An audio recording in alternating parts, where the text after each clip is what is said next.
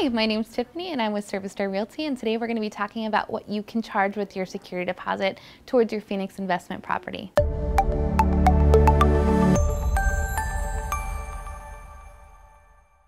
Arizona law is pretty clear when it comes to security deposits. There are limits to how much you can collect, and there are timelines for how long you can take to return the deposit at the end of a tenancy.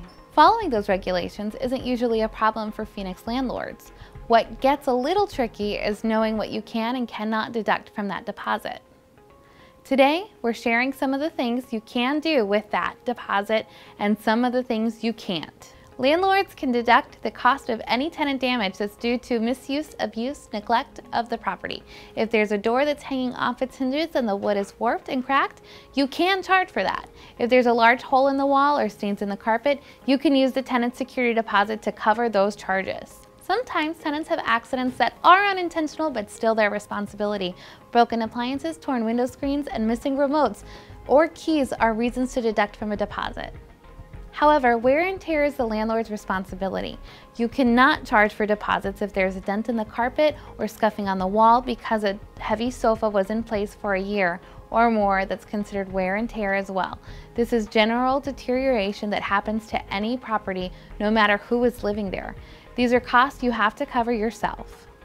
Everything in your rental property has a lifespan, and that will impact what you are able to charge and when.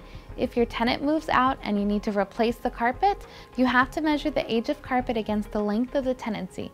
The general life expectancy of carpet is five years. So if you've had the carpet for four years and your tenant only lived the home for two years, you cannot charge a security deposit for the full cost of the carpet replacement. The same standard applies to paint. There's a five-year life expectancy, so determine how much cost should be the responsibility of your tenant based on the last time you painted and the length of the tenancy. The best way to avoid a security deposit dispute is with excellent documentation. Make sure your lease states exactly how you expect to find a property returned to you after the tenancy. Do a thorough move-in inspection before you turn possession over to the tenant so you have a clear and accurate representation of the property's condition before move in. Then do a similar, well-documented move out inspection so you can compare the condition of the home, take a lot of pictures and videos. In Arizona, you have 14 business days to return the deposit with an accounting of what is withheld. If your tenant disputes a charge, look at the move-in and move-out inspection reports together and evaluate the photos and watch the videos. That might help your tenant understand what was charged and why.